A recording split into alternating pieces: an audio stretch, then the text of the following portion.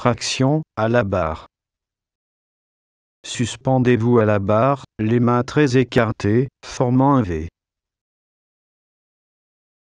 Les bras ne doivent pas être complètement tendus, de manière à garder le dorsal en tension constante.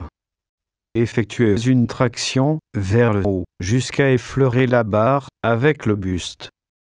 Lors de l'élévation, le corps doit suivre une ligne droite et ne doit pas osciller ni en avant ni en arrière. Revenez lentement en position de départ et pensez à ne pas étirer complètement les bras.